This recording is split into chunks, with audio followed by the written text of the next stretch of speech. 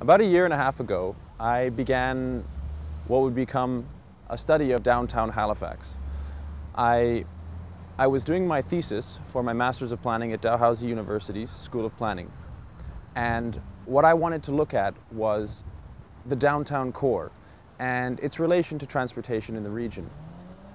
I've always had a, a, a strong interest in transportation planning and this led me to, to do a, a downtown streetcar study of a modern streetcar system for application in, in peninsular Halifax. And so to begin this study, I had to look at Halifax as a region, a context. And that began with looking at the growth patterns of Halifax.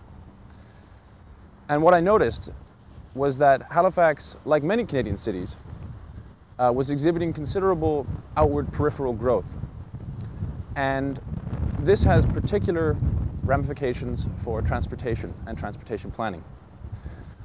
And so what I did is I looked at a number of comparator cities across North America and Europe and looked at the relationship between transportation and economic development and human settlement.